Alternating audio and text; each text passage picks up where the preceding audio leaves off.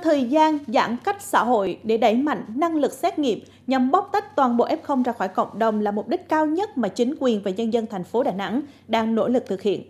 Bên cạnh việc lấy mẫu xét nghiệm 3 ngày một lần đối với mọi người dân trên toàn địa bàn, phường Mỹ An, quận Ngũ Hành Sơn, thành phố Đà Nẵng cũng thường xuyên tổ chức xét nghiệm cho những đối tượng người nước ngoài tạm trú trên địa bàn. Việc làm này đã nhận được sự hưởng ứng và đồng thuận của những người nước ngoài trong việc bảo vệ bản thân trước diễn biến phức tạp của dịch bệnh. Khẩn trương, nhanh chóng, khi được thông báo đi lấy mẫu xét nghiệm COVID-19, nhiều người nước ngoài hiện đang tạm trú trên địa bàn phường Mỹ An đã rất hào hứng. Từng khung giờ được quy định sẵn để mọi người dễ theo dõi và tuân thủ khuyến cáo 5K cũng như mọi quy định phòng dịch. So với các lần trước, đợt dịch này có tốc độ lây lan mạnh nên những người nước ngoài ở đây đều ý thức được việc lấy mẫu đúng thời gian. Tôi cảm thấy mọi thứ rất tốt. Thời gian này tôi luôn cập nhật tình hình của thành phố mỗi ngày. Chính quyền địa phương đã tiến hành chăm sóc cho người nước ngoài ở Đà Nẵng rất tốt. Tôi chắc rằng ở Hà Nội hay thành phố Hồ Chí Minh cũng tương tự. Chính quyền đã và đang giúp đỡ hết mình cho người nước ngoài. Là một trong những phường có lượng người nước ngoài lưu trú khá đông, Công an phường Mỹ An đã hướng dẫn chi tiết về việc lấy mẫu gửi đến cho từng người nước ngoài thông qua mạng xã hội để chủ động sắp xếp thời gian. Vốn là một quản lý khách sạn, anh Anthony, quốc tịch Pháp, đã chấp hành việc ở yên trong nhà thời gian qua. Đối với anh, việc lấy mẫu xét nghiệm SARS-CoV-2 đã trở nên quá quen thuộc.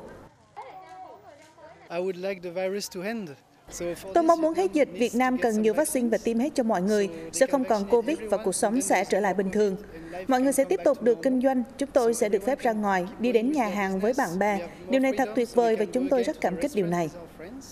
Chúng tôi cũng tham gia điều tra khảo sát nhân hộ khẩu nắm thường xuyên cái số thường trú, số tạm trú và đặc biệt là cái số người nước ngoài cũng như những số người thường xuyên ờ, qua lại địa bàn để làm việc để cung cấp cho ban chỉ đạo và phối hợp với ngành y tế mời ờ, triệu tập và đưa họ đi xét nghiệm đảm bảo tất cả là 100% công dân là đều được ờ, xét nghiệm. Bên cạnh việc chăm lo sức khỏe, tổ chức xét nghiệm cho người nước ngoài, chính quyền và công an địa phương cũng thường xuyên thăm hỏi, động viên và chia sẻ những phần quà nhu yếu phẩm thiết yếu dành cho những người bạn nước ngoài gặp khó khăn trong dịch bệnh. Tinh thần tương thân tương ái của người Việt Nam càng khiến bạn bè thế giới cảm động.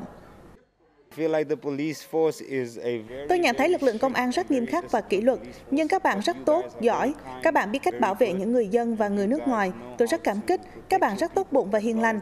Đặc biệt là trưởng công an phường đã giải quyết tất cả vấn đề rất chuyên nghiệp. Hiện tại, hơn 800 người nước ngoài trên địa bàn phường Mỹ An đã được xét nghiệm SARS-CoV-2 và cho kết quả âm tính.